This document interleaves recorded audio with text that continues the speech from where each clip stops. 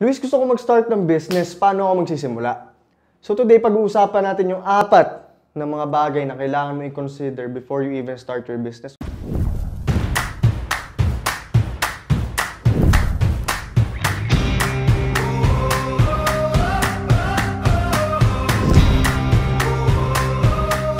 Kasi unang-una dyan, syempre, yung skill.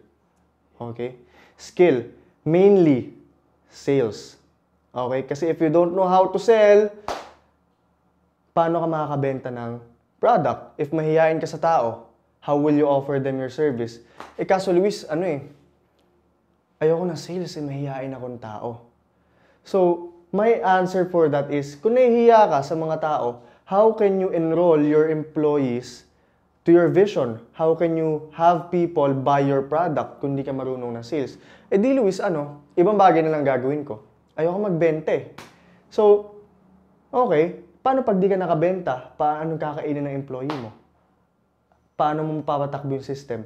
So, sales is really the number one skill na kailangan mo if you want to become an entrepreneur. Next is yung system. Ano na ba yung mga system na yan?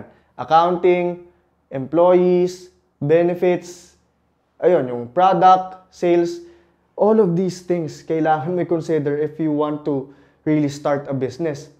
And kung hindi mo alam kung paano ka magsa-start sa mga yan, paano ka na? Next is yung mentor. Okay, most important.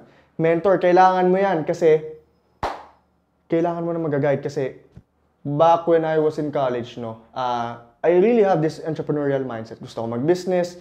Um, I really want to make money to work for me. Pero hindi ko alam kung saan ako magsa-start. Luckily, when I was a speaker sa isa naming event sa organization namin, entrepreneurial organization, speaker ako doon habang nag-aaral ako. I met my mentor. His name is Don Soriano. So there, na-meet ko siya. Nagtanong ako sa kanya how the business works, kung paano magtipid, kung paano mag-ipon ng money, kung paano mag-invest. And right now, he's my mentor. So, ang laki ng impact niya sa buhay ko and it, it really helps a lot kasi being in the business world is parang ano eh, parang nasa gubat. Hindi mo alam yung kung paano mo gag anong gagawin mo, kung saan ka pupunta. With a mentor by your side na napuntahan na yung gusto mong puntahan, malaking tulong sa career mo, sa business mo. Okay. And lastly, capital.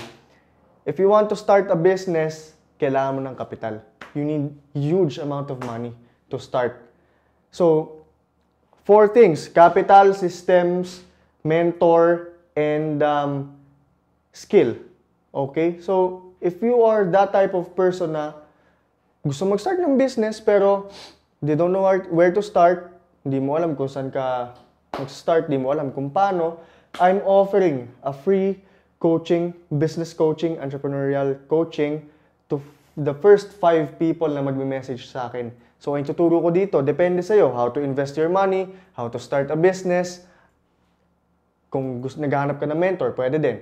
So, if you are that type of person na gutom, na gusto mag-business, na gustong ma- ma-improve yung buhay nila, ayaw sa employee mindset, then, click on the message button below, tutulungan kita. First five people, everyone. Bye-bye.